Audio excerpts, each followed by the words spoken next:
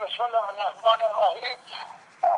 برگرد از انتخابات به بعد حوادث گوناگونی توی کشور رخ داده که خود شما هم از اون متاسفانه عوارضش و پیامدش بودید و دیدید که چه شد. همینطور این قضایا ادامه یافته تا حال. هم مرتب موازمون سریع روشن دلسوزانه میگیم مرتب. من احساسم اینه چون من موازم سریع و روشن راجع به مسائل مختلف میگم در رابطه با هسته در رابطه با تحریم در رابطه با انتخابات کل مسائلی که در کشورمون رخ داده و مبتلا بهه و این حوادث ازش رخ داده اونا اصرار می‌کنن که ما پیروزیم و ما موفقیم و شما یه مش تهمت زدید و اقتضا زدید و تقلبی اصلا در کار نبوده و ما میگیم نه که تقلب اصلا مهندسی شده. انتخابات و اصلا از اول سرنوشت انتخابات تعیین شده بوده. ما اشتباه کردیم که اصلا وارد انتخابات شدیم. البته حالا به عوارضش که پیش آمده هیچ پشیمان نیستیم. ولی می‌خوام بگم ما فکر می‌کردیم خوشبین بودیم که ما انتخاباتی داریم. اما بعد طبیعی انتخابات نداریم. اونا میگن نه بیتن میگن مدارک میگن بیاد مناظره کنیم. نماینده تعیین کنید. هر کی می‌خواد بیاد بشینیم. یا راجع به مسائل تحریم و جنگ و اینا بحث میشه. ما میگیم بابا جون اصلا بخشی از سپاه اصلا دنبال این وضع هست که هرچی می‌تونه بحرانی درست کنه حتی تحریم هم بشه تا بتونه به صورت خوبی پولای مردم رو غارت کنه و اوضاع ببره. بخشی از سپاه یا خود این دولت که نمی‌تونه حل مشکلات نه سیاست خارجی بکنه نه اقتصاد بکنه نه فرهنگ بکنه هیچ کاری نمی‌تونه بکنه.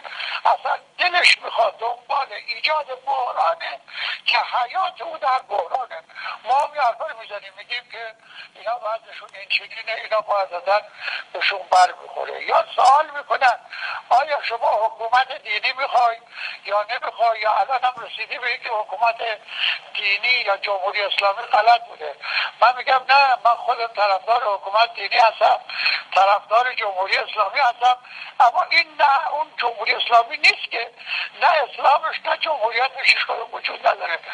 اونی که مردم خواستن براش انقلاب کردن او غیر از اینه. اگه او باشه بخش زیادی مشکلات مردم. حل میشه مردم مسلمانن و با اسلام سر جنگ ندارن با جمهوریت سر جنگ ندارن ما اینی که داریم نه جمهوری نه اسلامی هیچ کدوم. خب اینا پیداست بهشون بر می‌خوره از حرفا که می‌زنن. یا مثلا میگن روز قدس. خب ما میگیم بله روز قدس یه وظیفه یه هیچ که نمی‌تونه مصادرش کنه. ما می‌بینی حوادث میشه. الان پنج شب اینجا قوقایی است و درگیری و آمدن و شعار دادن و شیشه شکردن مقصد یفشم به اوجش رسوندن من واقعا از این مردم شرمنده هستم که همسایه ما هستن که ما باید موجب امنیت برای اونا باشیم.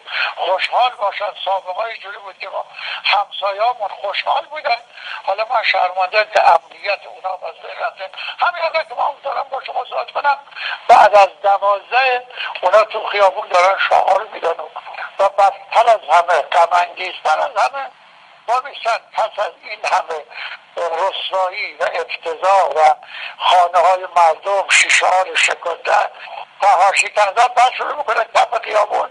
قرآن خوندن و بر قرآن هم مصیبت امام حسین خوندن ولی اصلا کردن بناشون برای اینه که آبروی از اسلام ببرن لذا ما میگیم نه رو اونم هستیم همینجا هم هستم. جایی هم نمیرم تو خونه خودم هم هستم و همیشه هم برنامه هم دارم. آماده هر گونه هزینه هم هستم چون خودم چهار خانواده ولی من دارم میگم خانواده من چه گناهی کردن؟ مردم من چه گناهی کردن دنیا یه سیاسی وقتی باش اختلاف دارن. یه مش عرازل اوباش و بچه درست کردن.